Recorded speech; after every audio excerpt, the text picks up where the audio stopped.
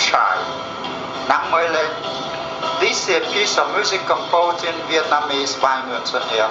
I have posted it on the Google blog, Nguyễn Xuân Hiến, Nguyễn Xuân Hiến, blogspot.com. And why you hear it? Thank you.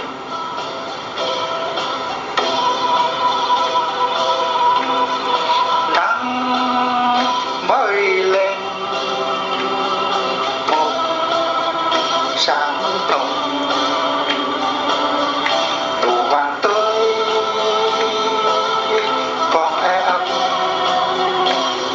准备